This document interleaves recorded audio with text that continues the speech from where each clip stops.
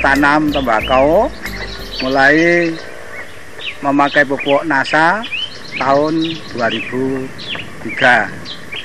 Di umur satu minggu, Satu minggu ya. saya beri NASA Glio untuk dasar mulai tanam. Cara pupuk kadio Glio itu saya kocorkan sebelum tanam. Penggunaan pupuk nasanya kita semprotkan jarak umur satu minggu sampai rata-rata dua minggu satu kali. Itu sekali Pak ya. Satu tangki dosis pemakaian pupuk NASA dan hormoniknya berapa Pak?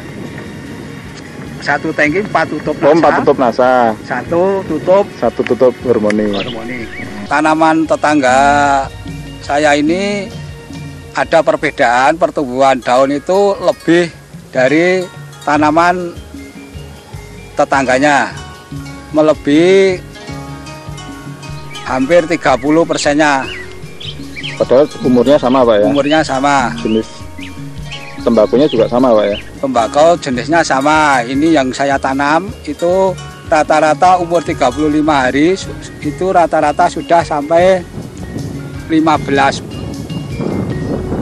lembar Ini paling tetangganya ini rata-rata baru 8 sampai 9 lembar kualitas daunnya itu tebal yang pakai pupuk NASA di- dibanding yang tidak memakai pupuk NASA. Jadi kualitasnya mbako sekarang di pertumbuhan di sawah itu lebih baik daripada yang tidak diberi pupuk NASA.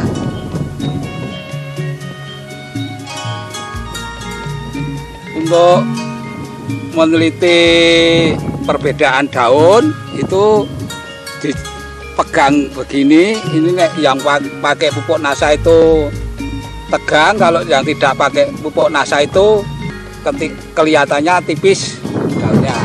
Jadi saya uji coba penanaman tembakau saya ini sebelum memakai NASA itu saya beri hampir saya beri 8 kol. Itu memakai pupuk NASA saya beri 6 kol. Itu yang kelebihan pupuk kandang. Itu saya untuk membeli NASA untuk menggunakan penyemprotan pertumbuhan bako.